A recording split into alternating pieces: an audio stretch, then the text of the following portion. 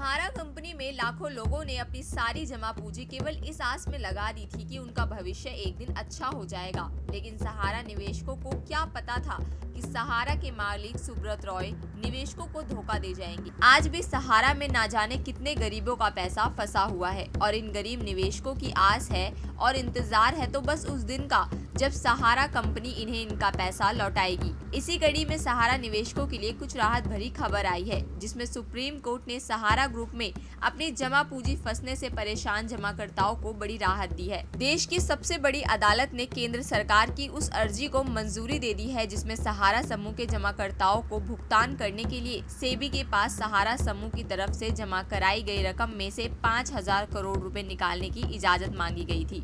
Justice M R Shah और C T Ravi Kumar की bench ने कहा कि इस रकम का इस्तेमाल उन लोगों को भुगतान करने के लिए किया जाए, जिन्हें सहारा ग्रुप की कंपनियों ने ठगा है। इसके साथ भी कोर्ट ने यह आदेश भी दिया कि जमाकर्ताओं को भुगतान की प्रक्रिया सुप्रीम कोर्ट के पूर्व जज जस्टिस और सुभाष रेड्डी की निगरानी में पूरी की जाएगी। आपको बता दें कि केंद्रीय गृह मंत्री अमित शाह के हस्तक्षेप के बाद यह मामला सुप्रीम कोर्ट में रखा गया। इससे जुड़े अब तक एक लाख बाईस दावों को डिजिटाइज किया है। मंत्रालय ने कोर्ट से कहा था कि पाँच हज़ार करोड़ रुपए दिए जाएँ ताकि लोगों का पैसा वापस किया जा सके। गृह मंत्रालय ने सुप्रीम कोर्ट के फैसले को ऐतिहासिक करार देते हुए कहा कि इससे सहारा समूह की चार सहकारी समितियों के हज़ारों निवेशकों का पैसा वापस मिल पाएगा।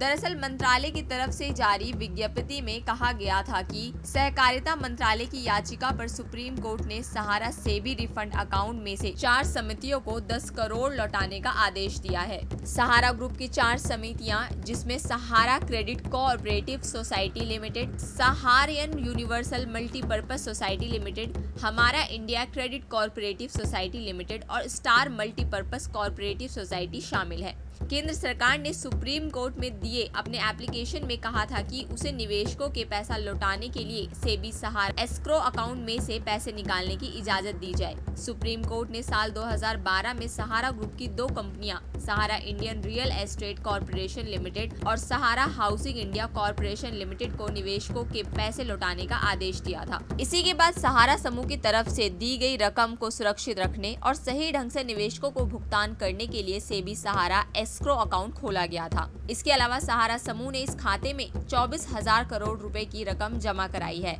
लेकिन जमाकर्ताओं की सही पहचान न हो पाने की वजह से भुगतान में अड़चने आती रही है। सुप्रीम कोर्ट ने इसी रकम में से पाँच हज़ार करोड़ रुपए निकाल कर जमाकर्ताओं को भुगतान करने की इजाज़त अब केंद्र सरकार को दी है। पिनाक पाणी मोहनतानी नामक शख्स की जनहित याचिका पर सुनवाई के सिलसिले में मांगी थी। मोहंती ने अपनी याचिका में मांग की है कि सहारा ग्रुप की क्रेडिट फर्म्स और चिटफंड कंपनियों में निवेश करने वाले लोगों को उनके पैसे का भुगतान किया जाए। हालाँकि पाँच हज़ार करोड़ रुपए निकाल कर जमाकर्ताओं को भुगतान करने की इजाज़त देने के बाद भी लाखों लोग अभी भी इस आशा में है कि उनके पैसे उनको कब मिलेंगे और कैसे मिलेंगे। सहारा से जुड़ी तमाम जानकारी के लिए आप बने रहिए द फ्रीडम न्यूज़ के साथ।